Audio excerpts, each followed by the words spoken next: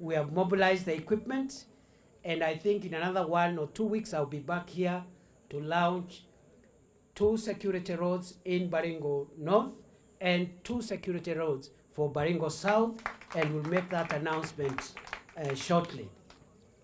I also want to announce that next week I'll be announcing new administrative units in the affected areas, including Baringo, so that we can have the services of government closer to the people, and therefore, for all this region which is being affected by banditry, we are going to make nationwide announcement, but with a, a very clear focus also on the areas with security challenges like Baringo, as we create and operationalize new sub-counties, new divisions, new locations, and new sub-locations.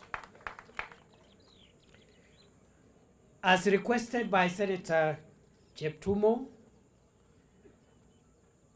we will accept the request to establish Koriema and Sandai police posts uh, with immediate effect because of supporting what the agencies are doing here to improve the security in this area. I want to take this opportunity to give my pole for those whose relatives were hurt in yesterday's attack. And I have discussed with the Member of Parliament for Baringo North.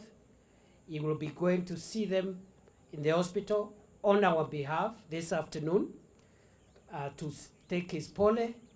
And uh, perhaps when I come back to Baringo next week, I should be able to visit Baringo North and we will be able also to visit some of the families that have been affected by this problem of bandits.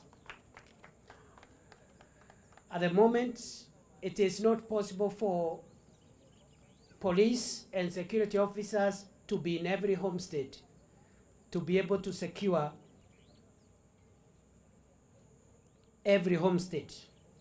And therefore, what you are seeing, the isolated attacks you're seeing, are criminals who are trying to uh, attack knowing very well that our police officers cannot be everywhere.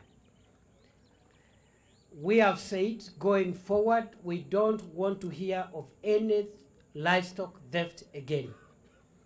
The agencies working here must find a way of preventing